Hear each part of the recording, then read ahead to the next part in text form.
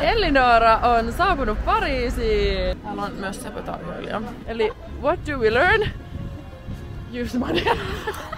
Mä maksoin tästä silti 350 euroa. Tää on definition niin kuin tästä generationista. Mä oon niin menettänyt mun koko huumorin tajun ja mun koko persoonallisuuden. Tällä hetkellä on puhunut yhden kivan Tinderajan. Eiku, ei Tinder, jumala, mä en oo käyttänyt Tinderin 15 vuoteen.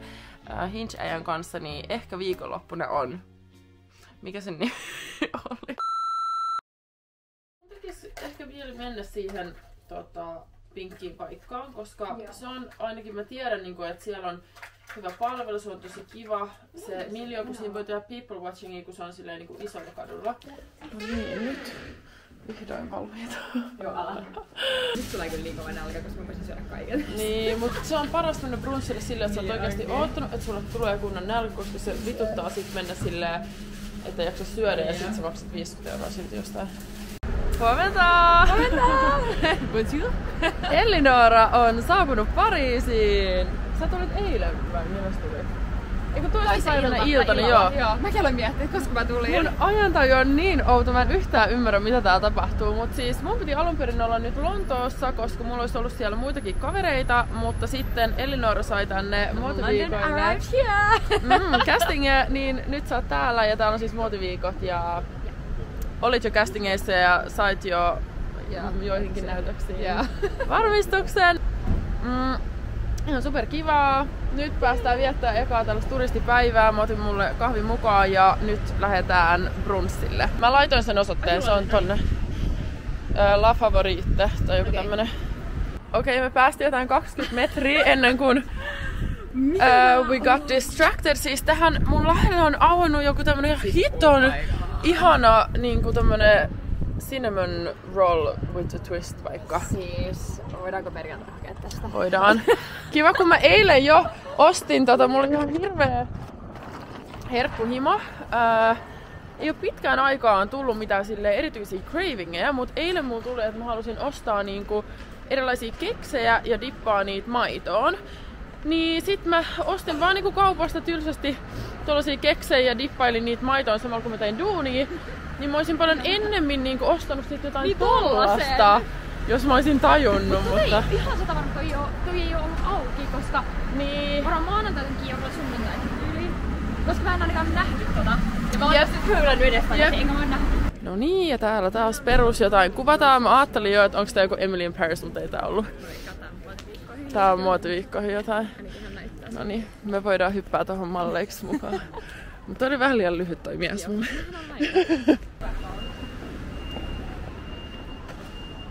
Nyt ollaan saavuttu brunssipaikkaan. Mä oonkin joskus aikaisemmin maininnut, että tää on yksi mun lemppari niinku drinkkimestoista. Tää on aika turistinen, mutta...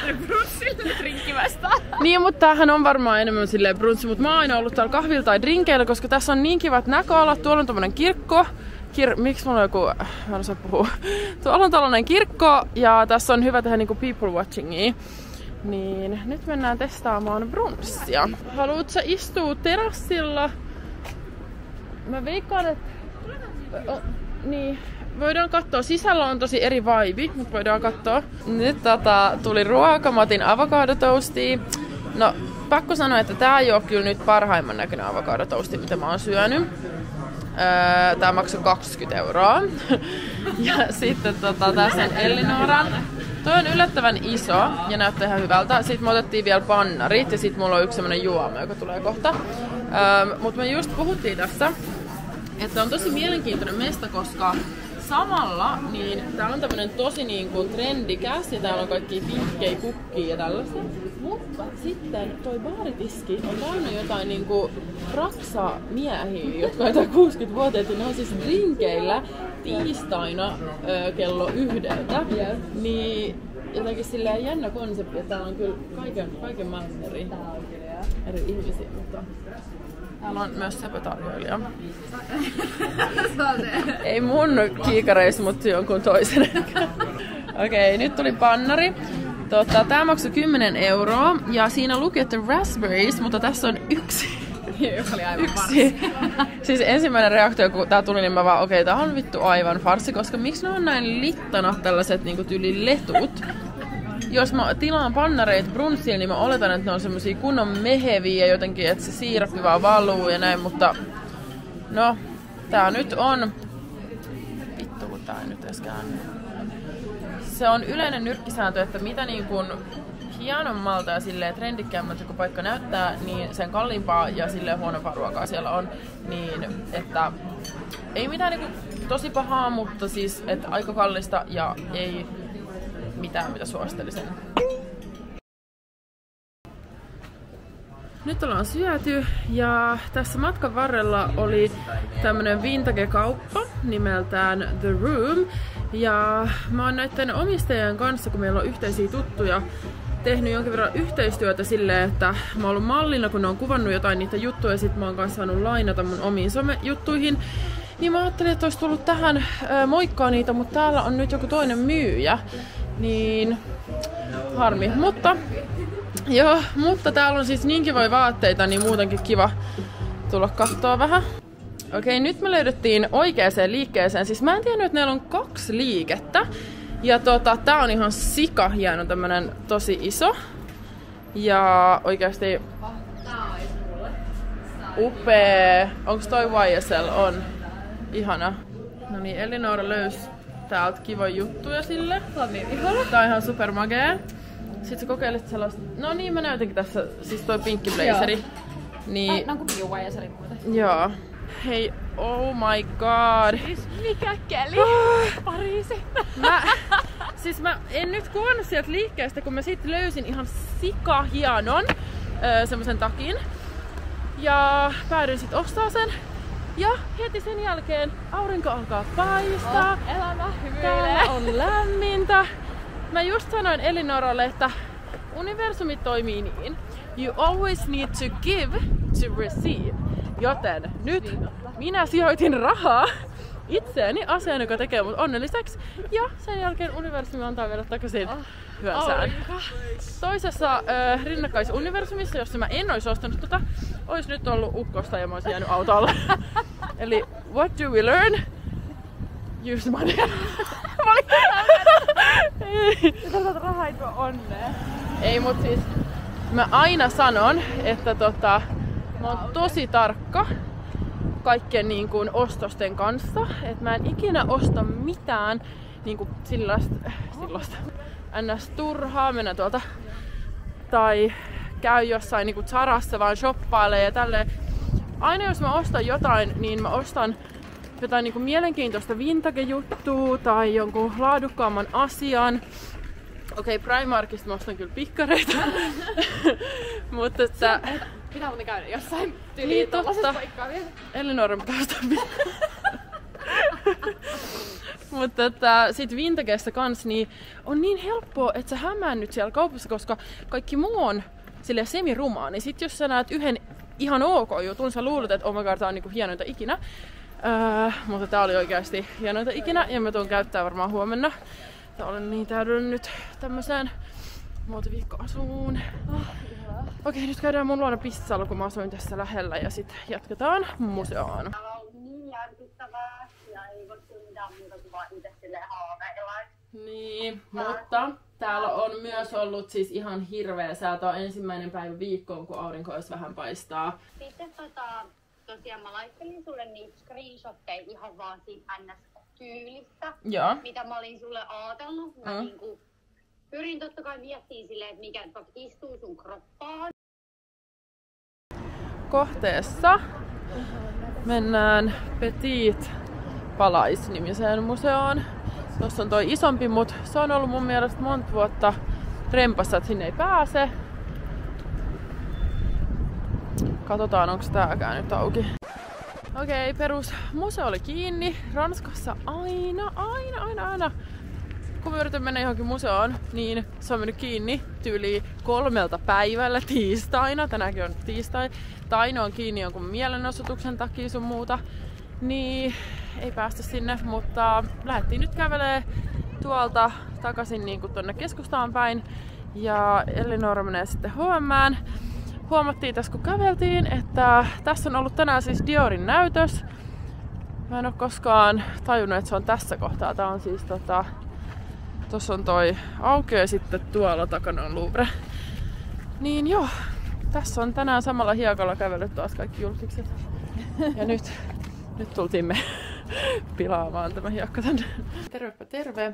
Tota, oli niin hirveä nälkä ja väsy, että me tultiin vaan raivoilla tänne takaisin kämpille. Syötiin vähän wrapsia ja mä söin tässä mansikoita.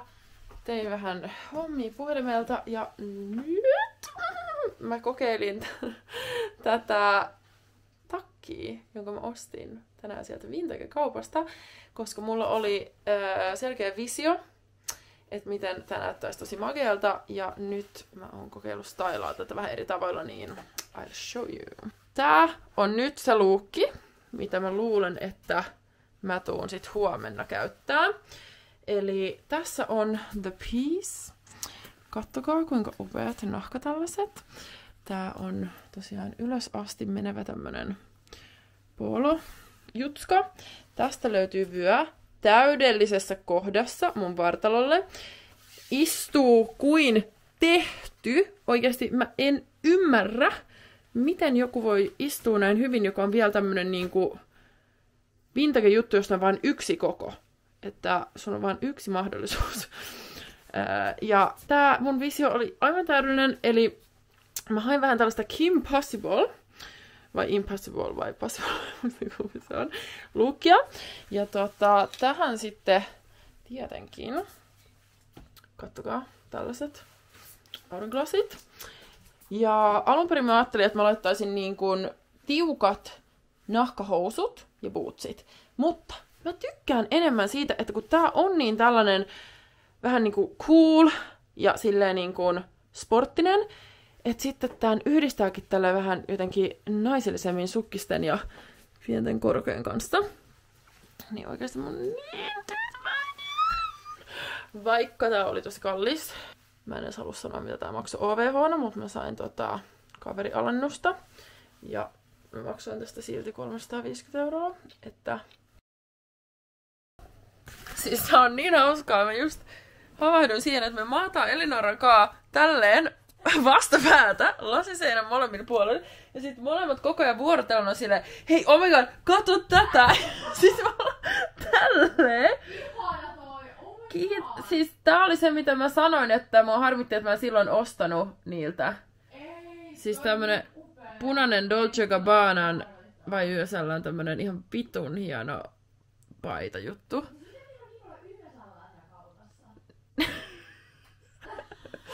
No en mä tiedä. Mutta oikeesti, tää on definition niin kun tästä generationista. Että kaikki on niin sille oman niin kun, tilan tarpeessa, että me ei voida olla samassa huoneessa, mutta tää lasiseinä on tarpeeksi, että me voidaan kommunikoida välillä.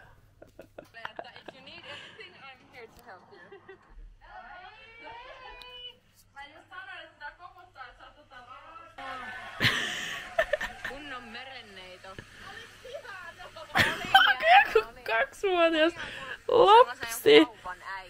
Mut hauskaa, että täällä me ollaan pupuissa sille söpöjä. Ja sit kun ne on siellä Vantaalla mun pihalla syömässä kaikki mun marjapensaat, niin silleen haulikko käteen oikeesti. Marmeja kuuleja Niin, ihan eri. Mä puhun nyt vlogiin. Oh, okei, okay. tässä on joku 15 tuntia. Et mä oon siirtynyt 20 senttiä tuosta kohdasta tähän kohtaan sänkyyn. Se on ainoa saavutus tältä illalta. Um, mun pitäisi mennä nukkuu, mutta mä aloin nauraa niin paljon, kun Veronika laittoi mulle jotain viestiä, että se katsoi näitä meidän vanhoja jotain niin Espanja-vlogeja. Ja että mä olin sanonut jossain kohtaa jostain pupuista, että mä otan Vantaalla haulikon esiin, jos ne on mun pihalla.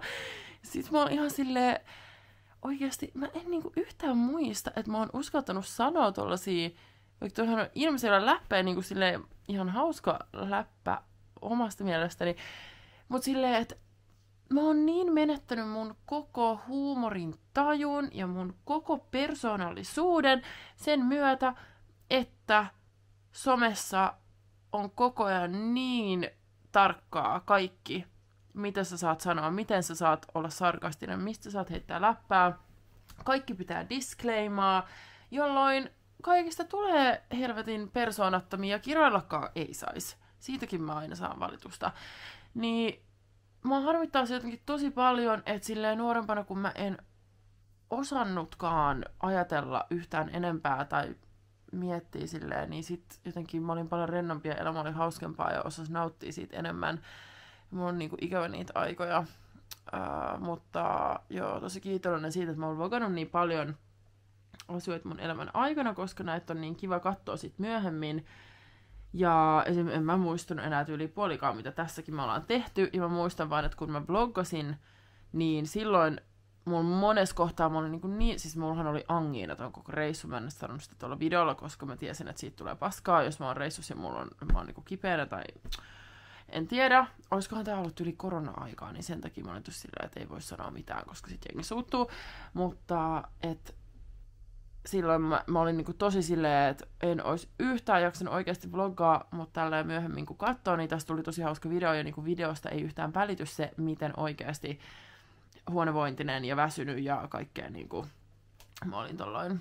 Mut joo, interesting aina silleen, kun onhan tää tavallaan niinku viihdettä, mitä tekee, niin vaikka bloggaamisessakin luulee aina, että saa aika hyvän käsityksen kaikesta, niin kun se leikataan, kun sieltä otetaan pois ne tietyt jutut ja laitetaan jotkut ääniefektit ja näin, niin siitä tulee aina niin kuin paljon, paljon, paljon jotenkin erilaisempi kuva sitten sinne se lopputulos, kuin mitä se välttämättä on ollut niin kuin siinä tilanteessa.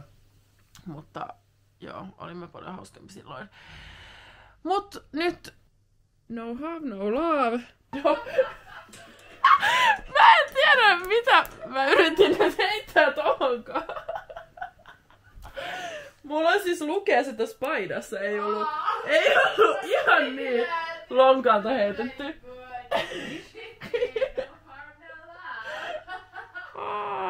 niin, no love, no love on kyllä enemmänkin totuus, mutta ää, tällä hetkellä on puhunut yhden kivan Tinderajan, ei kun, ei Tinder, jumala, mä en ole katsonut Tinderin 15 vuoteen, äh, Hinge-ajan kanssa, niin ehkä viikonloppuna on, mikä sen nimi oli, Tristan, ehkä viikonloppuna on, yes Tristan, yes love.